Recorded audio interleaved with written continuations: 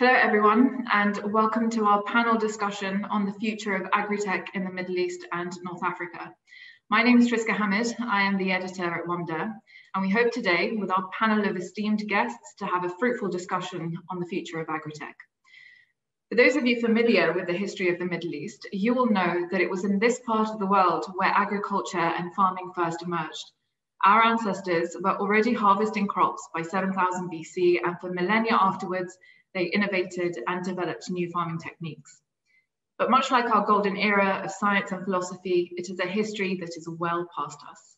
Today, the Middle East relies heavily on international markets for its staple food products as arable land and water become ever scarcer resources. In fact, in some countries in the GCC, more than 90% of the food is imported, and here in the UAE, government statistics show that the country consumes more than 80% of its freshwater resources to produce less than 15, that's 1.5% of its food supply. The issue of food security is one that plagues many countries around the world, and several are using technology to address this challenge. Now, firstly, we'd like to get an overview of what's happening in the world. Um, and I'd like to invite Yasin Aboudaoud, who is the uh, Chief Development Officer at Brinc IoT Accelerator. Uh, Dawood, if you could join us and open your mic and Okay, it's not letting me uh, open my video. Maybe you can help me with that. There we go. I can start my video. Thank you, Triska, for having me. Uh, it's a pleasure uh, to be here and, and, and to have these great discussions as they pertain to us in the Middle East, uh, maybe more than other areas. Um, but it's a, it's a very hot topic, obviously, you know, even with the whole pandemic and what's happened over the last, you know, six and nine months. Um, where do you want to start? So I, firstly, I'd like to give some stats over what's happening in, in the region. So we had a look at the investments that have been made so far. And since 2014, we found that there have been 33 investment rounds in agri-tech startups across MENA. Pure Harvest, um, and I'm happy to say Sky is, is on this call, uh, is the best funded startup in the region. They've raised $138 million. Um, Sky can elaborate a bit more on that. I think 100 million of that is still committed.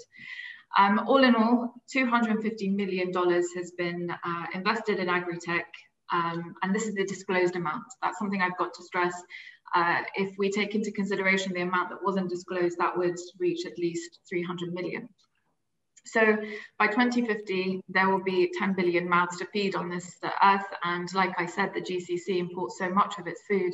And that's reflective in, in where these investments have been made. Dubai and Abu Dhabi really lead in, in terms of the where these investments are going, uh, followed by Egypt and um, Saudi Arabia. Um, and the number of uh, investments is also steadily rising. Last year there were eight, so far this year there have been eight investments made as well. So Yasin, do these numbers um, surprise you or do you think that these, uh, the region is lagging behind where others are concerned? Well, I mean, I think there's, there's, there's two parts to it. I mean, there's the part of the investment side and maybe the part also of, of, of how much knowledge base we have in the entrepreneurship side. Um, I think everyone's racing into this uh, category right now. Uh, we predominantly started as an IoT and hardware accelerator. Uh, we've now positioned ourselves as an impact accelerator with one of our verticals being food. And most of our LPs and most of our investors now, I would say, have probably transitioned 30 to 40% of their portfolio and their investment into food. Um, just because they see it as probably one of the biggest problems right now um, and that's happening first predominantly, I would say, in Asia. Um, maybe someone who's not on that list uh, because I, I don't think they expose as much information as they want to. It's probably China. Uh, China is doing a lot of work in the genome area, in the area of uh, you know alternative proteins. You know they have a huge population to feed, um, and you know the, the the traditional agricultural way is is not that easy, especially as their population grows. Um, and Singapore is actually one of the pioneers, also, I would say, not just on the investment side, but also on the innovation side. Um, so, do the numbers make? Sorry, sorry, go ahead. No, go ahead. The numbers are. So the numbers do make sense. I think that um, here, you'd probably see a lot of the investment being done. I mean, I know the folks from Pure Harvest are here and they've come to set up here too, but most of the investments they're doing are probably not in this region uh, in terms of you know trying to solve the problem. I think it's more of a of a return approach rather than solving our own problem approach. Okay. And in terms of the, the kind of trends that you're seeing and the innovations that are happening, uh, I mean, you, you have a presence in Singapore and Sydney and in China. Um, what's happening around the world and how does that compare to the innovation that we're seeing in the Middle East? Well, I think right now what, what we're seeing a lot from is the use of bioreactors and the use of technology where we're taking nutrients, uh, sorry, where we're taking, you know, um, uh, DNA samples or blood samples from an animal or whatever it is and injecting it with nutrients and, you know, growing chicken, growing beef. Um, this is where I see is the real innovation. Uh, you know, we, we, we invested in one company now who's trying to create uh, breast milk from a mother that can be, you know, created through bioreactors. I think that once that platform is there, um, we're going to see a lot more of that alternative protein because I think the way that we're producing protein today, um, you know, globally, everywhere, whether it's chicken, beef, whatever it is, I think that's the number one thing that's not sustainable, and that needs to be addressed. Um, so we've done also a lot of investments in that right now. Um, now that doesn't come without challenges. I, I think when you tell someone that you know you're you're going to be eating you know a, a chicken breast out of a petri dish um, people are not you know so you know they're not running to the you know to the grocery store to, to buy this stuff. But you've done that right? You have eaten chicken that's come out of a petri dish. Yes uh, i've eaten chicken. I've uh, i've tried one of the prototypes from just foods. They're they're they're, they're one of our partners in uh, in hong kong for our food program. And uh, you know it, it, it tastes like chicken um, another very big challenge, though, also is, is is the price. I mean, you know, the price of one chicken nugget is about almost close to about eighty to hundred dollars. So it, it's obviously not sustainable, you know, in that sense too. But I think as mass production comes on, uh, I mean, we, we were having the same conversation about Beyond Meat and the Impossible Burger probably, you know, four to five years ago by saying, you know, cost you know eight dollars, ten dollars for a burger. Well, now it's it's it's it's almost that part. Specific to the agri-tech uh, ecosystem in the region. Um, I mean, how far away are we from getting to that stage where we're creating, you know, biotech and petri dish meat?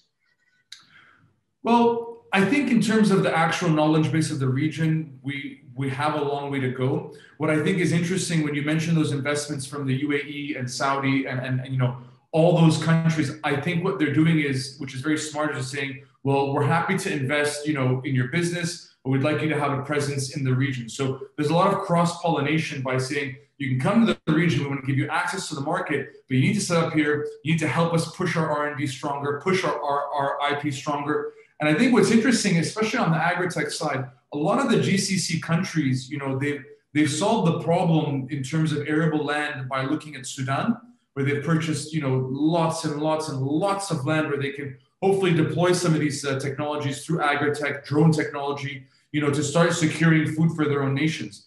And they're not going to be able to do it with the kind of knowledge base that we have now. They're, they're, they're going to have to, you know, bring in more folks from abroad, uh, have them set up here, say, you know, we're happy to give you access to our distribution, happy to have you set up here, and happy to give you funding.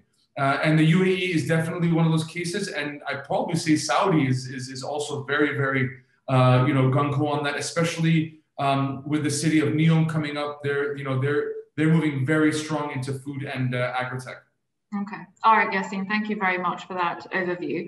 To further discuss the, the Middle East uh, in detail, we have um, Salvatore Lavallo, who's the acting head of FDI at the Abu Dhabi Investment Office. That's ADIO. Miguel Angel Povedano, the chief commercial officer of Majid Al Futtaim Retail. These are the guys that run Carrefour. Um, Omar Al Jundi, who's the CEO and founder of Badia Farms, and Sky Kurtz, the CEO and founder of Pure Harvest. Uh, gentlemen, if you could all switch on your cameras, please, and unmute. Sky, I'd, I'd, like to start with you. You are the best funded startup, agri-tech startup in, in the Middle East. Um, but it took a while to get there. What was it like trying to raise investment and, going to investors here saying you have an agri-tech startup? Uh, in all honesty, it was brutal uh, in, in the beginning, right? Especially when we started this nearly four years ago, Uh, it was not as hot a sector and, and less proven than even today. Uh, it's still a relatively new industry, right, in controlled environment agriculture in the various forms, but also we were Middle East asset intensive ag tech onshore, right, infrastructure investment in a traditionally unsexy sector, right, which was subsidized food. And uh, that was very, very hard. Uh, but ultimately, uh, I kind of traveled around the world and convinced people to back us, which with what was then the largest ever seed financing, about $5.8 million of equity capital but really on nothing but a PowerPoint, you know, a pile of dirt and the promise of what was possible if we ever secured the capital. And uh, and here we are today, right? We we built that farm, had had great success. We've operated three summers now and and two in two and a half growing seasons, and the the you know proof is in the metrics. We've had an incredible production, and now we've been able to raise a lot of capital against that to expand. So we're excited about the future, but it was really hard. I mean, when when did you feel the tide turn? When did people start taking you seriously and then realizing that this is worth investing in? Uh, you know, in all honesty, we had to secure a lead investor out of the United States first. When somebody, when credible money backed us from the U.S., we were able to secure other money around that. In the region, it was extremely difficult. We talked to, we knocked on almost every door, but really it was pretty unproven, right? We were the first market entrant at that time, looking for significant amounts of capital, and so it was really hard. Uh, but we ended up raising from the United States, Singapore, Hong Kong, and then of course in the region, Saudi and UAE, uh, to build that that that syndicate that invested in that first round. But to give you a sense of how many, we had 31 investors in that round. I mean, you can imagine how many hundreds of conversations and how many no's, and then ultimately how many yeses, and then closing all those people. So that is extremely atypical for a seed round of a company, right? They usually have a handful of people, or, or even led by one. So if it evidences how hard it was. But I would, the capital markets for startups in the Middle East are relatively nascent in general, and they're heavily focused on two things, right? Internet startups and e-commerce, mm-hmm. and that's almost ninety-five percent of the money. Don't quote me; you know better than me, but it's a lot of it. Now that's because it's a young ecosystem. But as we have exits like Careem and successes like Souq and all of the people that have followed a, and, and ahead of us that have opened the market to where it is for us today, uh, it's progressing. But we need successes not only in our vertical, but in hardware, right? In companies that are IoT, and we're one of the first. So we need to go build this, and if we succeed, investors will follow.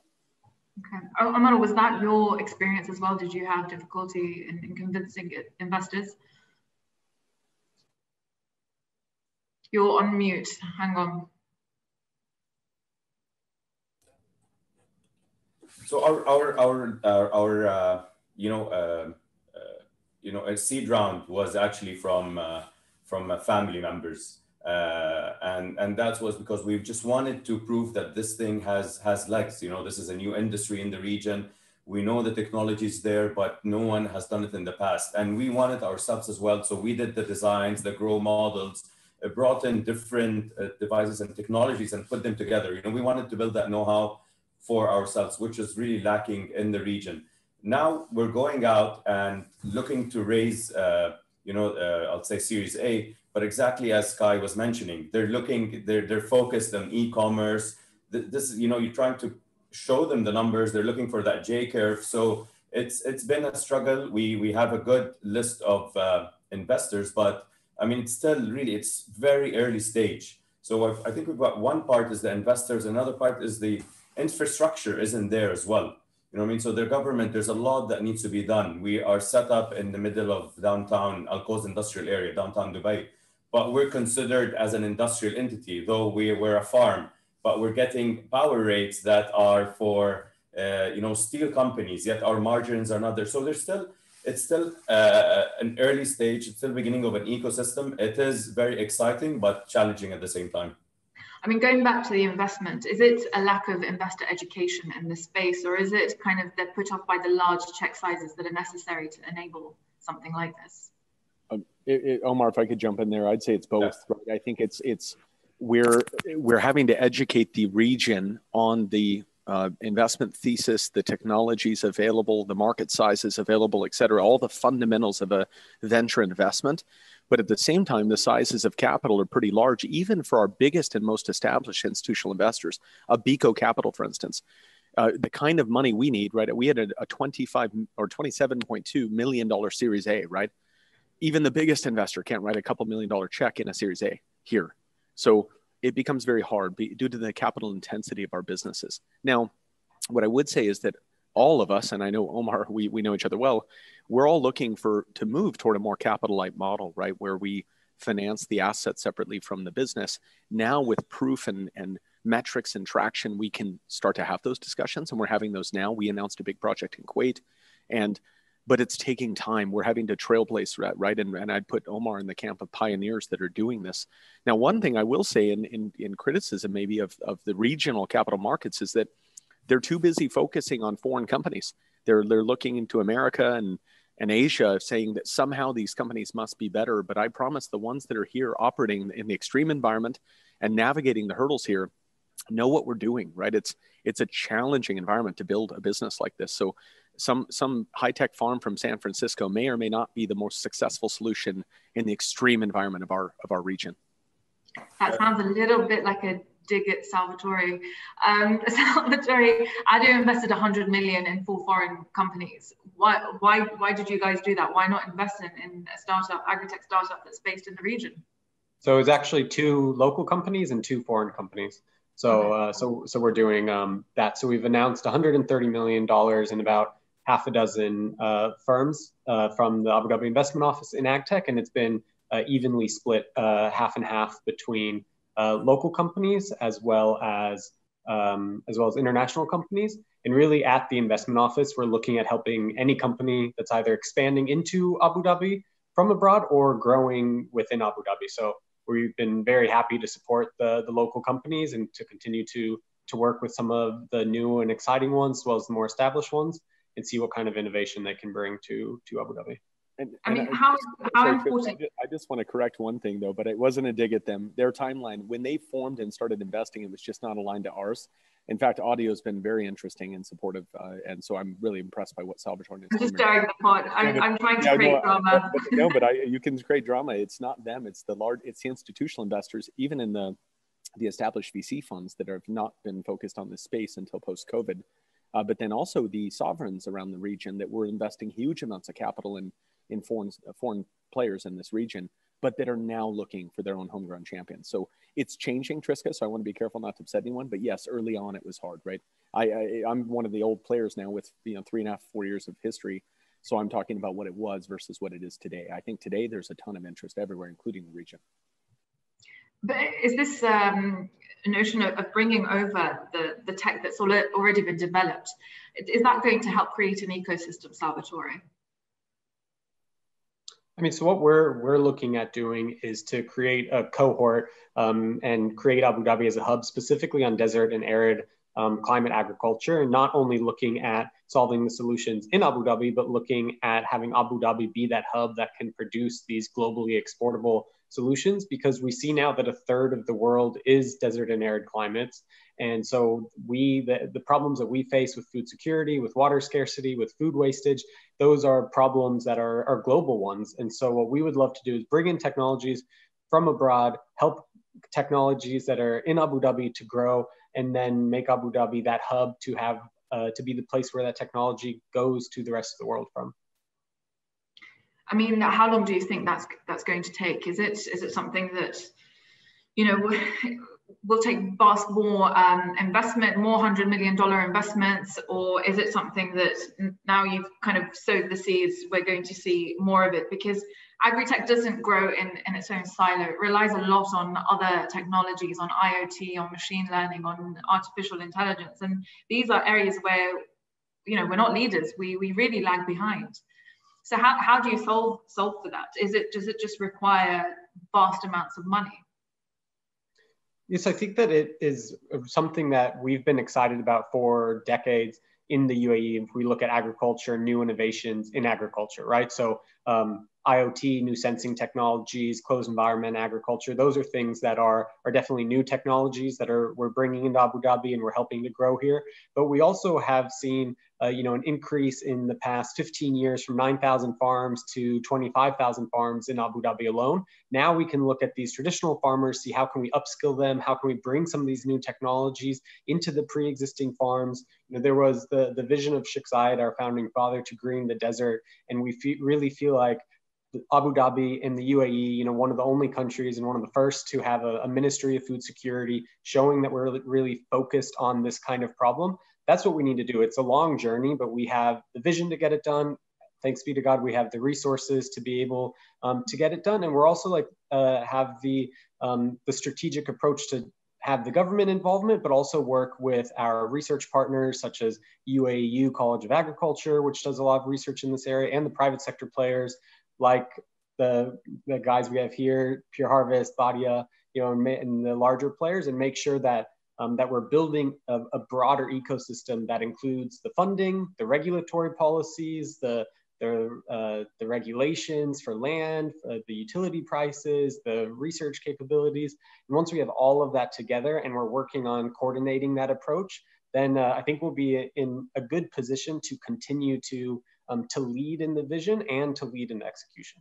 How big a role do you think the government should play in all of this? And this is a question I'd like to pose to all of you. Well, yeah, so I mean, go ahead, please, uh, Salvatore. Yeah, at, at the investment office, what we look at doing is really to our role is to promote Abu Dhabi as an investment destination, to attract companies here through financial incentives, but also the non-financial incentives, and then to facilitate companies to grow here. And we facilitate that by coordinating our approach with other government entities such as Silal, the new national wholesaler under ADQ, uh, ADAFSA, the Abu Dhabi Agriculture Food Security Authority, with the research universities, and then you know through that approach of the government promoting, attracting, facilitating, we feel like um, we're creating a good coordination and good strategic vision that we can execute on. Okay. Yeah, I was going to say, uh, unfortunately, unfortunately, food is a strategic sector that is protected in some way or another in every country around the world. It will always have substantial government intervention. But in this case, in our region, and I'll talk to Abu Dhabi, we're an Abu Dhabi based company, um, it's actually hugely beneficial. We need government transitory involvement to help support there's a chicken and the egg problem with scale. We all need to get to scale to be competitive. But until we get to scale, we need support in certain things to enable us to get to that scale. But I'm a huge believer in transitional support, not permanent subsidies or trade barriers, which ultimately will cause uh, negative externalities, uh, crazy prices, uh, undisciplined investments in technology, and failures, um, which has happened in their case uh, proof points all over the world. But um, Abu Dhabi's been supportive and is investing heavily and focused on this, but so is it at the federal level. Post COVID, the uh, Minister of State of Future Food Security helped to appoint a national committee on the adoption of ag tech for food security, right? I helped serve on that, but so did many others uh, in the food business to drive policy change at a federal level to support investment and competitiveness of food production in the region. And now I'm here in Saudi right now as we speak, a lot of is happening in the region, right? So we all share these problems. The, the GCC is too import dependent and it wants food security, water conservation, economic diversification, and sustainability. And this industry, the ag tech industries, enable all of those things. They scratch a lot of itches, and I think the governments get it. And COVID only accelerated that awareness. Ahmad, do you want to add to that? Yeah, just to add here, the government needs to protect local farmers uh, especially at an early stage to develop this industry. For example, during uh, COVID, uh, you know, Dutch products uh, imported to the UAE, the price actually went down. That's because the government stepped in, took care of their freight prices, and that's the role that we would want the government to play in for, you know, the involvement of this industry, whether in the UAE or in Saudi Arabia. I believe in Saudi Arabia, they announced they're gonna have an additional tax on certain fruits and vegetables imported. And this, this is great because now you, you're protecting local farmers and you're igniting this uh, industry. So the government does play a role, as, as Sky mentioned and, and Salvatore, and, and uh, we, we need them, especially at the beginning. I mean, you mentioned, uh, Ahmad, earlier that you're treated like a steel company. Um, I mean, you are both an agri-tech startup, but you're also just a startup. So how difficult is it navigating both of those worlds together? Because, you know, for startups have many challenges from uh, the regula- uh, regulations, from simple thing of opening a bank account. So I imagine life is quite difficult doubly because you're in the agri-tech space. Spot on. I mean, initially, for example, we had to get two licenses. One license uh, to for for the farm itself, and then another license to import the seeds from abroad. But what's great about the UAE, it's a very progressive, uh, uh, you know, government uh, and incredible leadership, and you know that uh, the the Office of Food Security uh, actually they set up a series of workshops last year where one of the one of the things that came out, the recommendations is to give AgTech, you know, one license with all the activities that we require. So it is challenging, but it's uh, comforting to know that our voice is heard. We've got access to the decision makers in the country, and uh, otherwise, Badia would have ceased to exist long time ago. Um, are you an onshore offshore company? Omar? We're an onshore company because okay. we're all all Saudi. So one of the uh, all the partners are from Saudi Arabia. But another recommendation that came out of these workshops was, um, and, and, it, and it was announced, if there's a, we want to bring in an investment from a foreign entity or foreign investor for over seven and a half million dirhams, we could actually bring them in, into the onshore. I mean, does that, Sky, does, does that pose a problem at all, being an onshore versus offshore? Um, it, it does with regards to international capital markets, right? So when you're onshore in most of the region, with the exception of certain free zones, et cetera, you're in uh, Sharia law. And that is difficult for a lot of international capital to want to invest the time and comfort to, to perfect their interests. And particularly with us, we use both debt and equity, as do most of our industry, because it's uh, so capital intensive. And so the you know the easy answer is yes it matters a lot but it matters because of regulatory environment international comfort with capital markets and the capital we require the kind of capital but what I would say is that the good thing is the region has solutions for this, right? We're in Abu Dhabi Global Market, DIFC, but ADGM's been fantastic. It's you have the alignment with Abu Dhabi. It's a federal free zone in British law, right?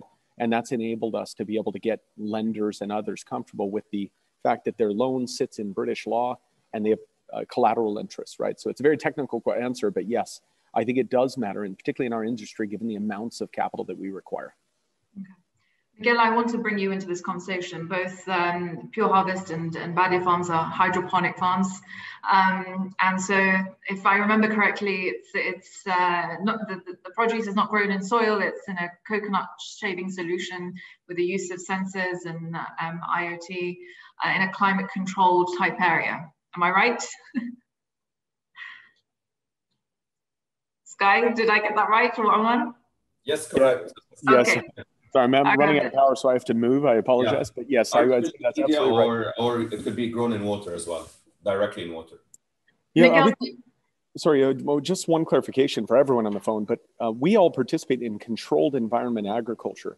We all control the environment, grow indoors or not, et cetera. But the, and, but the uh, hydroponics, aquaponics, and, and aeroponics is really how we irrigate. It's only a piece of the system. So I think that the right thing, and we want everyone to start saying this, is that the industry we all participate in is controlled environment Agri- agriculture, CEA. Hydroponics is just how we irrigate. It's only a, sub, a, a subsystem within our entire solution. Okay. Um, Miguel, do you guys stock uh, any hydroponically or aquaponically grown produce in, in Carrefour? Yeah, so uh, the, the first thing is you allow me to, to go a little deep in, in some of the, the takeaways for my college. Uh, in your question about the, the government role into the, the localization versus the import dependency that we have in GCC countries today, I think one of the key things that I think was highlighted from Sky and Salvatore is the, the reality of the price in terms that the technology should be affordable. Today, when you do import by sea fresh or air fresh represent around 30, 35% of the landing cost for the product in our different countries. However, today the technology that we have is around 25% more expensive than the traditional that we, that, that we bring from other countries. So as Omar, uh, Omar highlighted, I think it's very necessary to the protection to the agriculture and working at the same time in the direction that step by step, the technology solution will be much more affordable because hydroponic is a, is a great initiative for greenhouses on many of the new tech that, that we have. But however, even if hydroponic today, the water consumption is around 95% less than traditional agriculture. And uh, of course, the, the carbon emission is much more less because you make the production in the place and the forecasting and freshness can be extremely powerful. The consumption about electricity is a big concern today. And uh, we need to go step by step in two ways. For me, is the affordability of this technology in terms of compet uh, competitiveness in price versus import. And the second thing that we need to, to keep in consideration is the different varieties that is available with this new tech. Today, for example, in the Assortment portfolio that we're driving in fruit and veg, is around 500 different varieties. When okay. we're working with the different partners and we are working and cooperate with uh, uh, Pure Harvest. Uh, we are working with Badia. We are working with uh, uh, Khalifa, with uh, Baiwa, with Elite Agro. The problem is today, the varieties that is um, at the level of the quality that the customer looking for, you can find around 70, 80 varieties. But into that, the reality is that five varieties represent 80% of the total procurement. So to do, be sorry, Miguel, but do your customers feel comfortable um, you know, consuming these kind of agri-tech grown products, or do they want to stick with a traditional out of the soil? Thank you for the question. The point is like the COVID-19 consequences is like accelerate the change of the different trends in customer shopping behavior. One of them was highlighted for some of the, the panelists and was the e-commerce. E-commerce is growing at 500, 600%. And I give you one example. Is two years ago, e-commerce represent less than 1% contribution in Majid Al Futtaim. Today in countries like UAE and its mature countries with a big contribution for modern trend represent more than 6%. Countries like Saudi represent more than 10%. Yeah. So it's something that is growing very, very well. Into that, one of the pattern and path that we can highlight is in the majority of the countries that we are present as GCC, the composition for customer in terms of demographic and psychographic factor is like millennial and Z generation more than 65% of the customer portfolio. This kind of people or cohort is really very, very interesting in sustainability factor and also in health and wellness. Health and wellness category was growing at more than 150%. So my answer to you is yes, the people is looking for this local solution, even this kind of new tech like hydroponic is one step ahead of the organic bio. It's even better, but we need to explain better that to the customer. Traceability for the customer understand what I need to pay for that is extremely important. We need to communicate much better in that. And not forget one factor that I want to highlight one another time. Another of the path that we find in the customer insight is like the crisis or the pandemic consequences at economical level to provoke that the customer is looking for more value for money. In this value for money, the reality of the price is extremely, extremely important. It's why we need to find this kind of partnership between government and as you know, Majid Al Futtaim signed one memorandum of uh, uh, agreement with the Minister of uh, Climate Change and Environment in the way that we will help and we are trying to buy as maximum as possible at local level. And that is not declaration. I want to share some number with you. In 2020, the procurement that is coming at local level for um, uh, UAE in Majid Al Futtaim represent only 10% of the total procurement in fruit and veg.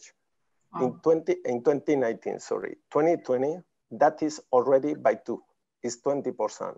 And our aspiration, collaborate together with the startup companies at the level, the people in the farm, and with the government is to achieve in 2025 near to 50% of the procurement at local level. But for that, we need collaborate and we must guarantee the affordability of the prices. That is extremely, extremely necessary.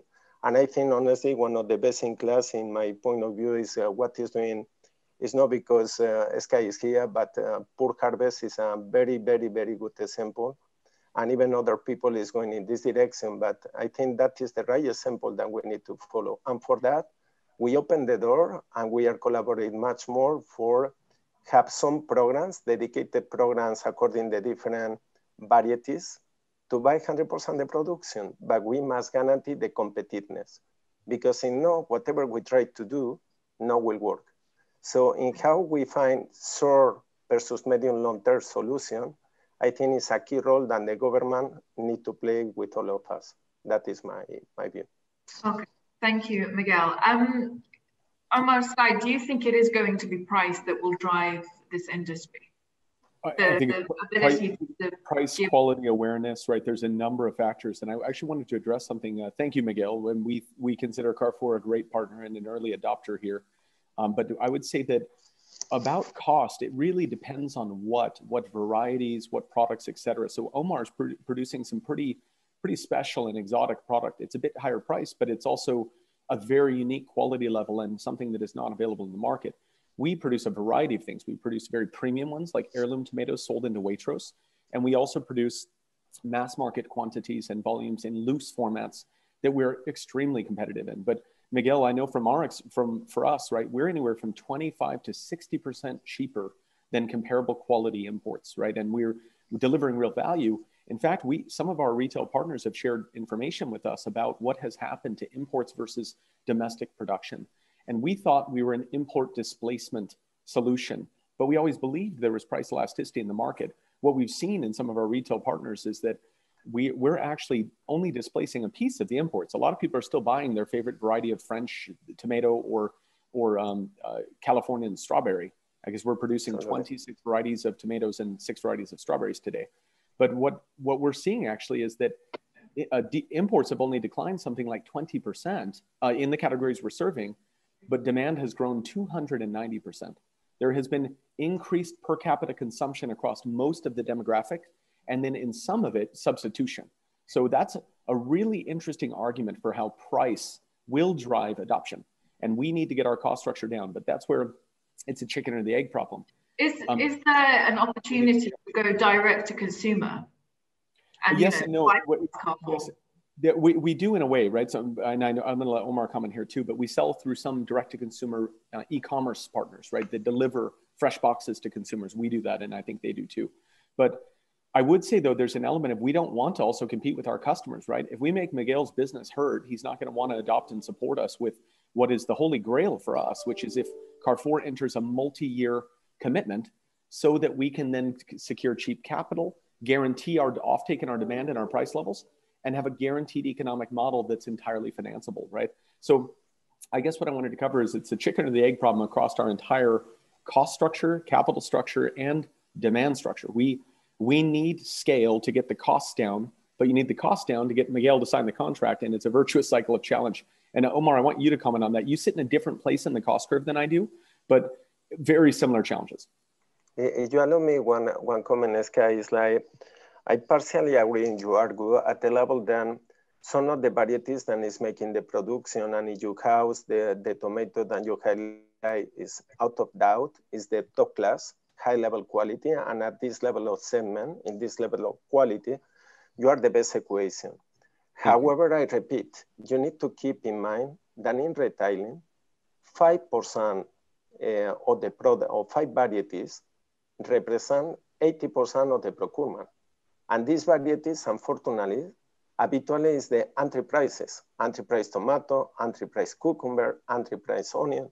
And in that, the competitiveness that we have from other countries at European level than can happen in Morocco on some of the uh, product in, in Africa countries like Kenya is something that uh, is pretty hard, pretty, pretty hard. That is then the point that I try to say. That we I see, Miguel. Sorry, but if I can and, comment on and that. And even, uh, Sky, you allow me to finish my argument, only one minute. It's like the point that I totally agree with you. It's like now in the industry, we have something that is extremely powerful, that is the advanced analytics. How we can interpret it and checking what you say according to the different factor, the basket and the frequency for the different customer segment, what the mission is, what the substitution happened and you mentioned is a key part of this analytical part. And even if you allow me the last point, the potential to improve the efficiencies in terms of economy of scale is extremely big. I give you one data that even uh, Omar and you, Sky, you know better than me. Is the fragmentation in the uh, agriculture in GCC countries. UAE have more than 29,000 farms. That is driving for 20,000, uh, 26,000 farmers. That is data 2020. So we need to create, like you did in Pure Harvest, that Elite Agro is doing, some conglomerate, then we need to transform the traditional agriculture in the new way to do, like China did 15 years ago. That, that Miguel, that requires, is it fair to put it all on onto the startups that we need to transform all of this? That Absolutely. Requires... Absolutely. And we have a wonderful example like how Sardia in the middle of the desert is making production from rice. That is one of the beginning things. But what you did, both of you, Omar and, and Sky, with your companies, like I, I want to be clear that Badia was one pioneer in that. How many years ago you start this business? But to make that then will be uh, suitable is the key point here because for me, I want to be clear. The point of view of the retailers today is as much we have localization better, better in terms of procurement, better in terms of forecasting, better in terms of freshness. So it's more profitable for all of us. So if I find some product than the local production is competitive, I will go like crazy because we're looking the same. And even the acceptance from the customer over this new vertical solution is amazing. It's very, very uh, powerful. Sorry to cut you off, again. Omar, I mean, Miguel is pretty much saying it's up to you guys to make it competitive and, and make it cheap. He'll be all over it. He'll buy all your products. For sure. There's a few points to make here. Thank you, Miguel, and, and, and thank you, Sky. So one, I think Carrefour are doing a great job in educating the customer. They've set up these containers and uh, mini containers or mini vertical farms at their stores. And it's again to showcase what is this technology, get consumers comfortable with it, and and to give the uh, provide the aspect of accessibility. But at, at, that angle, they're doing they're doing a great job. Now, in terms of it, it all goes down obviously to the cost.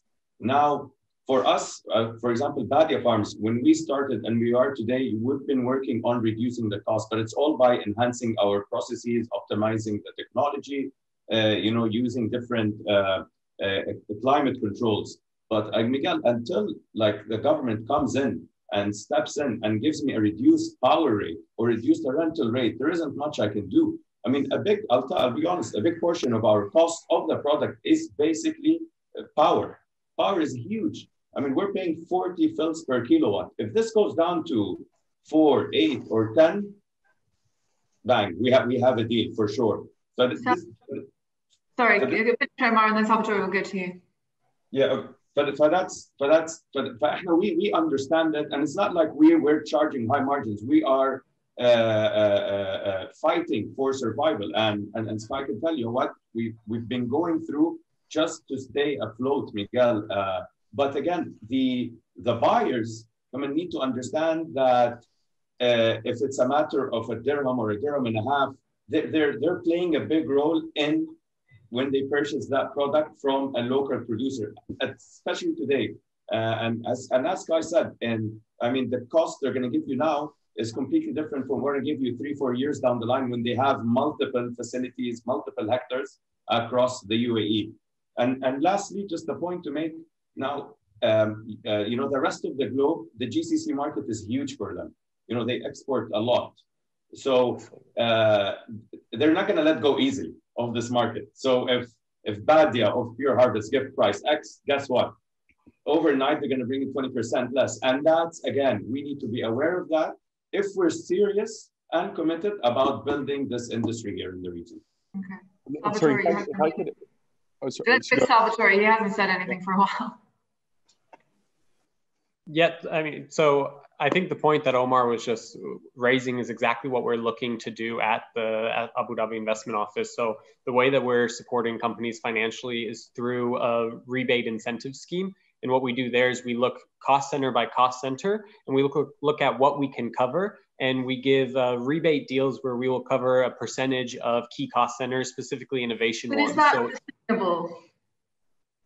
Yeah, so what we're looking at doing, especially, is focusing on R and D. So as Sky was saying, there's a lot of upfront capex costs in a lot of these these companies. They are there's less than one percent of loans in the UAE that are given to agricultural companies. It's really difficult for them to do that that uh, upfront cost to do that upfront r&d to bring in these innov- innovative solutions so what we're looking at isn't to fund ba uh, business as usual what we're looking at is how can we help companies to you know get that uh, the foot off the ground, have that initial investment in R and D in their capex. Uh, you know, lower those initial cost competitiveness areas like land, like utilities, and then, uh, God willing, these companies will be able to produce those um, that produce for the market, produce that technology for the market, as well as to be exported globally. And uh, you know, hopefully, this boost is able to to put the companies in a good position to compete. Sky, you're um, in the UAE, Saudi, and Kuwait now. What is the experience like in each of these countries? How do they differ? Which is which is the more favorable one for you? Actually, great, um, great segue to a comment I wanted to make in response to Miguel's comments on on on the 95 versus five percent argument. We're finding, for instance, in we announced a huge project in Kuwait in partnership with the Sultan Center, the largest private retailer in Kuwait and a public company what made this possible and why we built, we're building a farm in Kuwait bigger than all three of our farms combined in the UAE. Why is that? Because we had a retailer who engaged with us to share their data. They wanted us to produce, Miguel, their, their commodity varieties, their kind of bigger volume, lower value, and their premium into the market. So, and we can do that, and we can do that very competitively. But we need the scale um, to be able to justify building that farm. So we need the offtake. We need the commitment from the retailer that I will buy it. If you build me a giant cucumber monocropped farm, I will buy everything you produce. Then we can justify the lower gross margins on the, the commodity varieties and, and it works the model. Why are we all focused on the high end of the market right now? Because it's the only thing that makes economic sense to do with no security of offtake, period. And so that's why we're in your 5% of your market. But I want to mention how is it differing? Kuwait embraced us, and we're building an, a north of 80,000 square meter initial facility producing multiple crops. And it's a farm center. We have an edutainment area, a cafe, and a retail center all in one with farms, right? That we want to do that everywhere. And we're looking to do that in, in Saudi. We're here discussing a very large scale farm in partnership with pieces of a semi governmental uh, partner that's not yet public. But we are building around the region. What we need, though, and I'm talking about our home market, the UAE, we do need the retailers. We need them to come to the table and say, we've seen what you can do. What else can you do? And then work in a collaborative way. And we're seeing that around the region. Now, I'm not saying they're not doing that, by the way. Those discussions have begun, but it's been harder in our home market than it has been in other markets. And I think there's just been an aversion because of a long history of ag being unprofitable. And there's even the fear of what I call origin based quality, right? People literally say, like, France better, UAE worse not true anymore, right? But consumers are changing. So it's it, it's everyone. It's the consumers, the government, the retailers. It's us, right? And we it's a virtuous cycle. But the great thing is it's picking up traction everywhere. Consumers care. They now have trust, and they've tried the quality of our products and of Omar's. Um, governments are backing us. Thank you, Salvatore, and everybody else who's getting involved. And now uh, the retailers are coming to the table. But admittedly, Miguel, you know, I'll sign the same deal with you yesterday that I did with TSC if you're available to do it. It's something we're really keen to be doing and we can build a 10 hectare dedicated farm, including commodity varieties of cucumber, tomato, and all your mass market products profitably. So, eh, eh, Ejualo eh, me, so Sky, thank you very much. I take you, you challenge with passion. We will do something something very powerful, and I want to, you know, that we contact with uh, with you. The last week we was in in contact with you with your team we was two weeks uh, two weeks ago uh, or one week ago with uh, with Omar visit the the farms. So the point, guys, is like into the area of responsibility that I have in Majid Al Futtaim as responsible of the the merchandise. One of the key things is to play the economy of scale, and in our way to purchase, I want to be very transparent with you. Priority one is countries into countries. Priority two is GCC countries. Priority three is when I don't find the source in GCC, we try to other Middle East countries, then we source the other MAP countries. When this not happen, I go to looking for export. But into that, I open the door. We start from the next um, year, 2021, to develop our own private level in fruit and veg. Private level I want to be extremely clear for you. In consumer goods today, 90% of the procurement is happening in GCC countries. 90%. Out of our countries is coming only 10%. In fruit and veg, we have a wonderful opportunity and I extremely open to explore in very transparent way some joint ventures to have some programs that we uh, uh, can do something very powerful in the terms of competitiveness is the good one. But our determination, keep in mind, and that is signed in one clear document between Majid Al Futtaim and government in UAE, is that in 2025, we want to achieve 50% of the procurement versus the 20% that is happened today. So we need you. Like I, I feel like happen, we're we in go. the middle of a, a, contract negotiation almost, and I'm, I'm mindful of the time. We only have 10 minutes left. So um, if we could just, if I can ask each one of you where you think the sector is headed, and clearly there needs to be a lot more cooperation between all the different aspects. I mean, that's the main thing that I've, I've just felt from listening to you guys. Salvatore, I think where, actually, Yeah, I was going to say that I would say that it seems like from the conversation that there is that cooperation, right? Like the fact that we all know each other and have talked, uh, you know, to, to each other, you know, recently um, and are, are in these discussions shows that uh, that it is happening. And of course, we need more of that.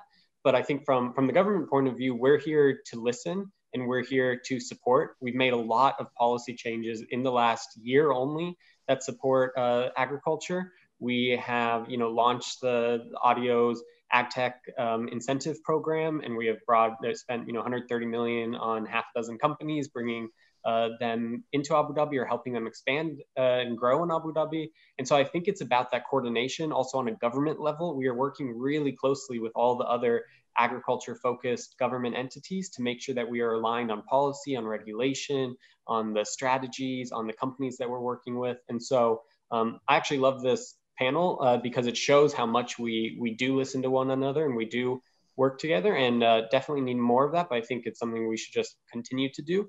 And there's always going to be new challenges. Agriculture is incredibly complex. Like sky was saying it's not just hydroponics that's one of the you know hundreds of inputs into it but it's also a really collaborative um, sector as well. We have 23000 uh, farms in the uae that even the world's largest indoor farm can't supply one Carrefour alone, right? We're going to need thousands of closed environment agriculture producers as well. And so um, the sector is about collaboration. The government is here to do that coordination from the public sector view, bring in the private sector where we can, and then God willing, the private sector also does that that talking, and we can create those those uh, you know formats for them. But uh, I'm very optimistic for the sector and, and I'm honored to be part of like pushing the vision that our, our government and our leadership has.